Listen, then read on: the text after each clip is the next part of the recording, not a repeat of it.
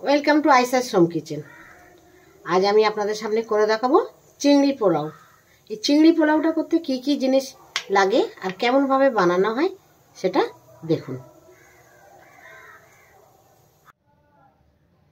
পোলাওটা রাঁধার জন্য আমার লাগবে চিংড়ি মাছ।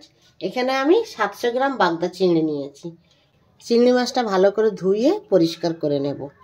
তারপরে লাগবে গোবিন্দভোগের চাল। এখানে আমার এক কেজি আড়াইশো গ্রাম গোবিন্দভোগের চাল আছে। এই চালটাকেও আমি ভালো করে ধুয়ে পরিষ্কার করে নেব। বাগদা চিংড়িগুলি আমার বেছে ধুয়ে পরিষ্কার করে নিয়েছি।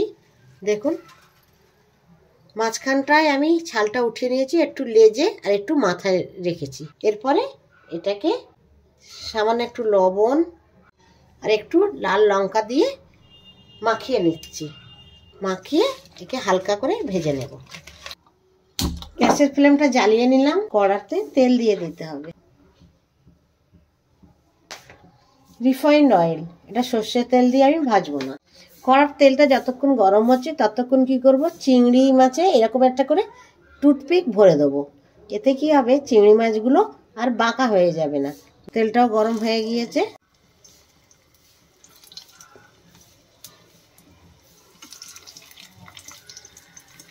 প্রত্যেকটা মাছের মধ্যে আমি এই টুথপিকগুলো ভরে নিয়েছি। হালকা একটু ফ্রাই হবে, তখনই একে উল্টে দেব। বেশিক্ষণ ধরে ভাজা চলবে না, কেন চিংড়ি মাছ শক্ত হয়ে যাবে। চিংড়ি মাছ শক্ত হয়ে গেলে তখন আর ভালো লাগে না। এক পিঠ ভাজা হয়ে গেছে, আর এক পিঠ করে সব ভাজতে দিলাম। এবারে আমি এগুলো তুলে নেব। নিয়ে বাকি অন্যগুলোও আমি ভেজে নেব।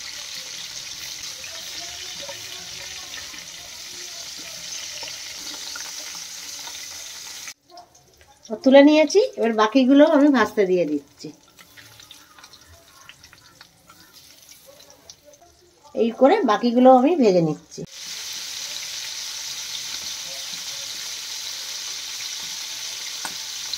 বাকি মাছগুলোও ভাজা হয়ে গিয়েছে, এবারে আমি এই মাছগুলোকে তুলে নেব।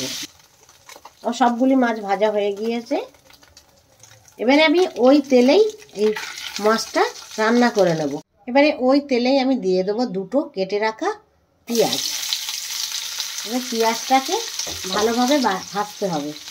লাল মচমচে করা যাবে না। পেঁয়াজটা যখন এরকম নেতিয়ে আসবে, তখন এতে আমি দিয়ে দেবো তিনটে এলাচ, চার পাঁচটা লবঙ্গ আর একটু দারুচিনি। দিয়ে এতে আবার ভাজবো। পেঁয়াজটা ভাজা হয়ে গিয়েছে। এরপরে এতে দিয়ে দেবো আদা রসুন বাটা। এখানে একটু রসুনটা বেশি আছে, যেহেতু চিংড়ি মাছ। আদা রসুনটা ভালোভাবে ভেজে নিতে হবে যতক্ষণ আদা রসুনের গন্ধটা কেটে যায়।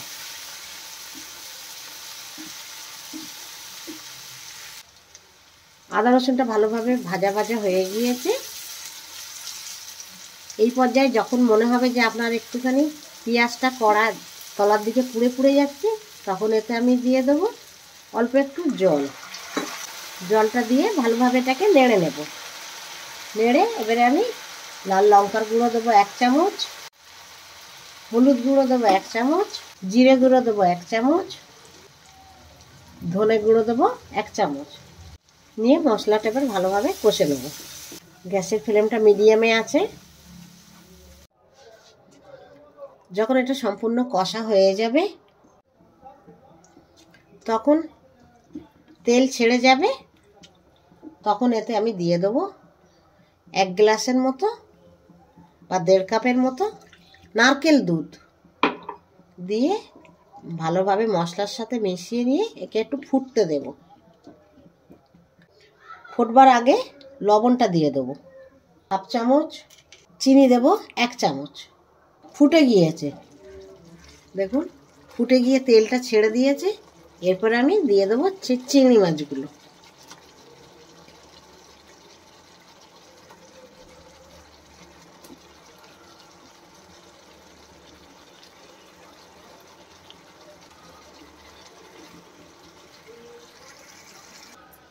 চিংড়ি মাছগুলো দেওয়ার পরে একটু ভালোভাবে ঝোলের সাথে মিশিয়ে দেব। মিশিয়ে দিয়ে এবার চিংড়ি মাছটাকে চাপা দিয়ে হতে দেব। মিনিট পাঁচেক। বেশি সময় ধরে হওয়া চলবে না, কারণ বেশি সময় হলে চিংড়ি মাছ শক্ত হয়ে যায়। মিনিট পাঁচেক ধরে রান্না করার পর আমার চিংড়ি মাছটা হয়ে গিয়েছে। এরপরে চিংড়ি মাছগুলো একটা পাত্রে আমি উঠিয়ে নেব।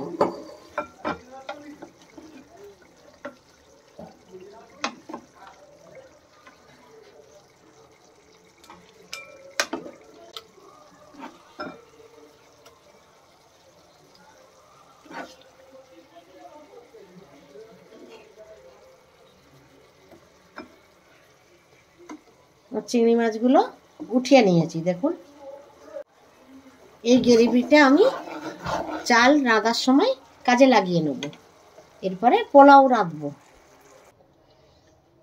কড়াইটা গরম করে নেব। নেবার পরে আমি এতে কিছুটা তেল দিয়ে দেবো। রিফাইন তেল আছে। রিফাইন তেলটা গরম হবার পরে এতে আমি দিয়ে দেবো এক চামচ ঘি। ঘিটা তেলেতে ভালোভাবে মিশিয়ে নেব। আগে থাকতে ধুয়ে সেই চালটা জল ঝরিয়ে নিয়েছি। নিয়ে এবার এতে দিয়ে ভালোভাবে ভাজবো। তারপর এতে আমি দিয়ে দেব দুটো তেজপাতা। দুটো তেজপাতা আমি ছিঁড়ে নিয়েছি। দিয়ে দেবো একটা শুকনো লঙ্কা। দিয়ে ভেজে নেব।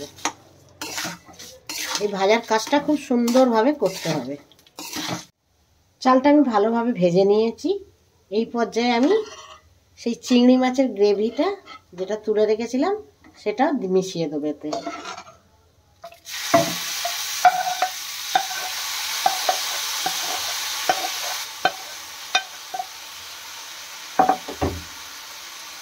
দিয়ে ভালোভাবে এটা আর একটু মিশিয়ে মিশিয়ে রান্নাটা করে নিতে হবে। ভালোভাবে ভাজা হয়ে গিয়েছে। এবার এই পর্যায়ে দিয়ে দেবো স্বাদ অনুসারে লবণ। আর দেব তিনটে এলাচ দিয়ে খানিকক্ষণ একে ভাজা ভাজা করে নেব। এটা মেশানো হয়ে গেছে। এবারে যে হাঁড়িতে আমি চিংড়ি মাছটা রেঁধেছিলাম, সেই হাঁড়িটা ধুয়ে আমি দিয়ে দেবো পরিমাণ মতো জল।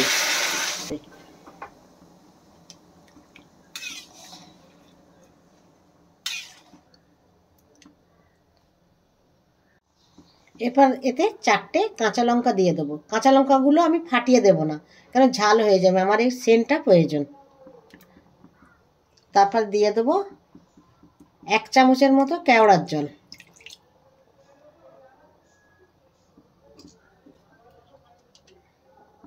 এরপরে আমি একে ঢাকা দিয়ে হতে দেব। ভাতটা ফোটার পরে আমার জায়গাটা ছোট মনে হয়েছিল, তাই আমি চেঞ্জ করে এই হাঁড়িতে রান্না করছি। এবার একে হতে দেব যতক্ষণ না ভাতটা নাইনটি পার্সেন্ট হয়ে যায়। ভাতটা আমার নাইনটি পার্সেন্ট গলে গিয়েছে। দেখুন, একটা ভাত তুলে দেখাচ্ছি।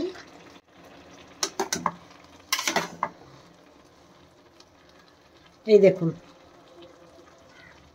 একটা ভাত হাতে নেবেন, নিয়ে দেখবেন এরকম গলে যাচ্ছে, অথচ ভেতরে একটু চাল মতো হয়ে আছে। তখন এই অবস্থায় মিশিয়ে নিতে হবে সেই রান্না করে রাখা চিংড়ি মাছগুলো।